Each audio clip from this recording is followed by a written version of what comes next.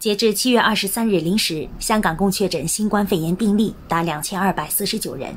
仅在过去一周内，确诊病例就高达五百九十五人，超过总数的四分之一。香港第三波疫情来势汹汹。特区政府宣布，七月二十四日起将启用鲤鱼门度假村检疫中心，用作社区隔离设施，舒缓医院病床压力。这座被誉为港版火神山的检疫中心再度进入公众视线。近日，记者前往现场探访，在依山傍海的鲤鱼门度假村球场位置，一栋栋连排二层小楼整齐有序地排列，外墙被刷成不同颜色，戴着口罩的工人正在做着最后的收尾工作。这里建成后可以提供两百三十四个独立的隔离房间。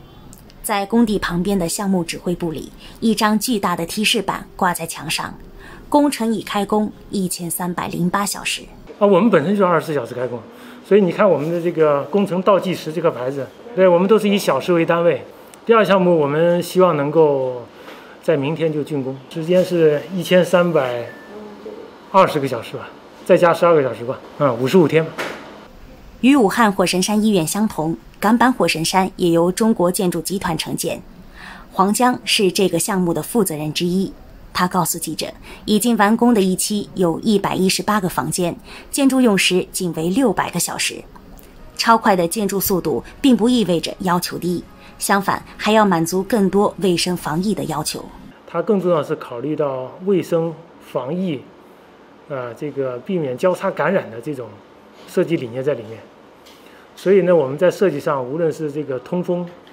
还是在这个清洁消毒。呃，给排水等等这方面呢，都做专门的技术上的优化，来达到特区政府，特别是卫生署对于这个检疫方面的呃这个卫生的要求。所以它跟普通的一些呃隔离中心不太一样。走进房间可以看到，不大的屋内样样俱全，床头柜、衣柜、单人床、书桌整齐地摆放着，每间屋均有独立的卫生间和洗浴设备。空间利用十分合理，仿佛与一般的房间并没有什么不同。走到外面，却能看出这里的不一样：密密麻麻但分工各异的给排水系统、独立空调，每栋楼上一根朝天的管道，都在从各个层面避免病毒的传播。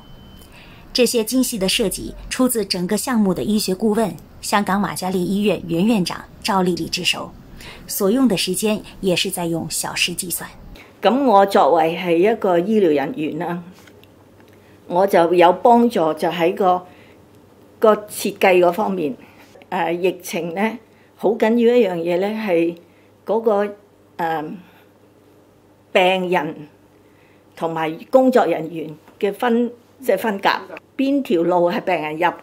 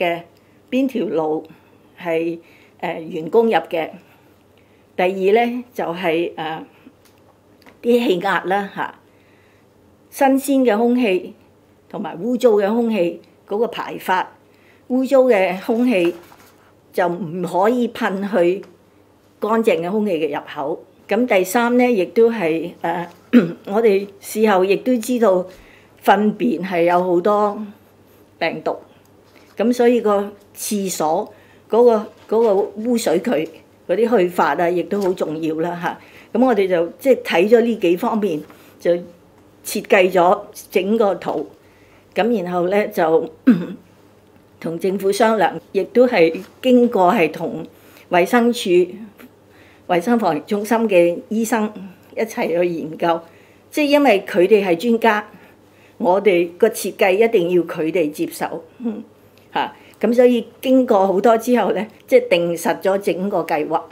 赵丽丽同样为施工的工作人员制定了一系列的防疫流程。在二期施工期间，相邻的一期已经有隔离人士入住，但所有施工人员无一例感染。十七年前的 SARS 期间，鲤鱼门度假村是隔离中心之一。十七年后，增强版鲤鱼门检疫中心再度启用，继续保护着香港的市民。在检疫中心高高的护网上挂着鲜红的条幅。上面写着“时间就是生命”。在疫情面前，黄江、赵丽丽还有更多的普通的人，用自己的智慧、勇气和实际行动，践行着这句话。